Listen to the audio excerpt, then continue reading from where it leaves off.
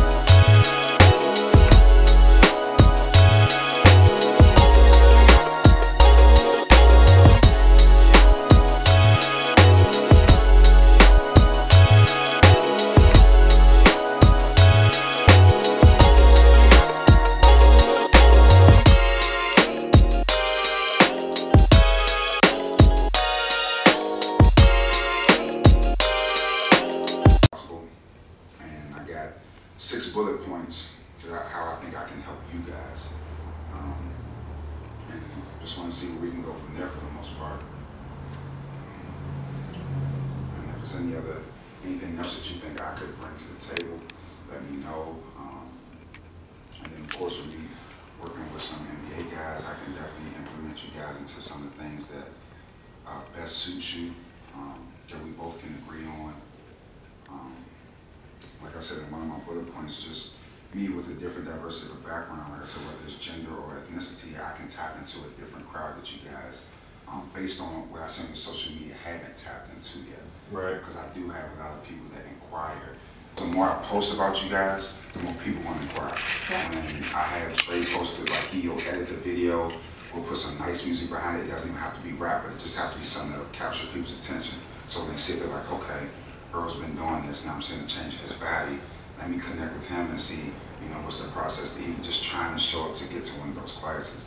Um, The first thing that comes to mind is that I've been trying to put together like an athlete series. okay. So like once a month or maybe once a week, probably once a week would be too much, but like once a month to tack on like a different athlete, so a basketball player and how chronology changed or can help them in that sport and find a gymnast or and just tap into all that stuff And too. the good thing, like I don't know if I mentioned to you guys, I went to Johnson C. Smith down the street, not too far from here. Um, still have a pretty good relationship with the coaching staff.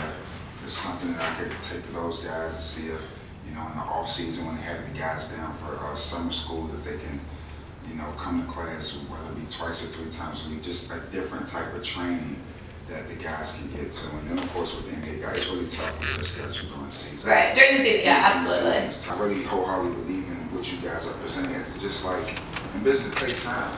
You know, everybody won't see you guys' vision, but um, like I said, I see it, I feel it, and I think it's something that can be bigger than Charlotte. You know, like I said, like you guys said, it was it's a class like this in DC. So by you guys getting that concept, bringing it down to the South, where the South is so honestly, it's just slow. You know, they grasp everything late. Um, that would be up to you guys, just coming to a common ground, um, what you guys think was, what's feasible for you. Because I don't ever want to be one-sided, because I truly wholeheartedly, um, believe in the brand. I want, you know, us for to, the relationships to stay organic, to like, I really trust the brand you guys, really trust me with whatever you're asking me to do. Yeah, so what we already doing, man? Uh, now we at uh, Young Boys High School game, checking out some high schools. I'm gonna leave it at that. You not gonna give no shout out? Huh? You, said, you just said Shout you're young boy. man, Preston. Preston. My man, Trey Mann. Nigga, I said you're not gonna give no shout out to the young boy. You just said the young boy. Boys, they, they went to work. You see, you see some of that footage because they went to work in there. But when it all boils down to it, some decisions that should have been made that weren't made. Um, I mean, you win some, you lose some, learning experience. It looks like they're gonna have to play the same team again on Thursday, probably. I won't be here, unfortunately, but good luck to those guys.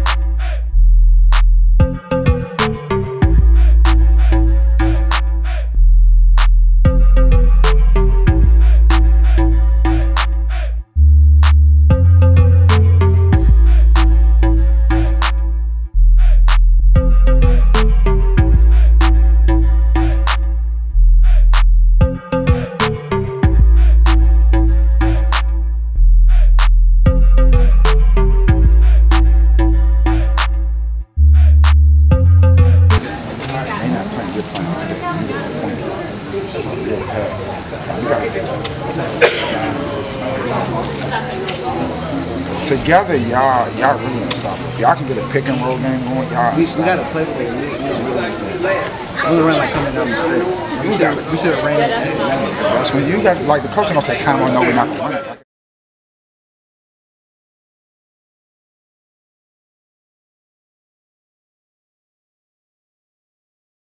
Here's a little look at the venue that we're going to use uh, on March the 9th for Travion's um, Be Mad bowling event. Um, and, a short Be Mad is be excited to make a difference. Uh, Travion is, is, is really trying to get engaged in the community. Um, uh, proceeds are going to the Charlotte Monarchs, an all girls AU organization. And uh, it's going to be split between the YMCA of McCrorey down here also in Charlotte. Uh, Travion has done some work with the McCrorey YMCA. Uh, so we just want to continue to build that relationship. Um, so on the 9th, we're actually going to have a fundraiser event uh, for, for those two organizations. Um, it will be fun filled, packed. It's just been something that we as a team have been working on um, diligently and, and really just trying to connect the dots. And as we're getting closer, it's crunch time.